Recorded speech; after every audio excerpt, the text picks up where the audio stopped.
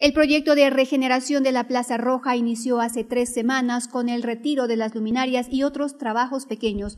A partir de mañana miércoles, el municipio de Guaranda, a través de los departamentos de planificación y obras públicas, empezarán masivamente los trabajos de mayor envergadura. En horas de la tarde, los técnicos del GAD mantuvieron una reunión para ultimar los detalles como el cierre de la zona sur de la Plaza Roja. Un rediseño integral está propuesto para la rehabilitación de este importante y popular espacio público que durante años ha sido el punto de concentración de eventos. Hoy, bajo la visión de futuro responsable y transparente, la Plaza Huanguliquín dará un giro de 360 grados, por lo que es necesario la comprensión ciudadana que durante cuatro meses, tiempo que tomará en concluir la obra, la cual tiene un costo de inversión de 400 mil dólares. Desde mañana, la intersección de la García Moreno y General Enrique cerrará en el tránsito vehicular, por lo que la ciudadanía debe tomar calles alternas para su movilización. Con imágenes de Alexander Ramos, reportó Patti Coloma.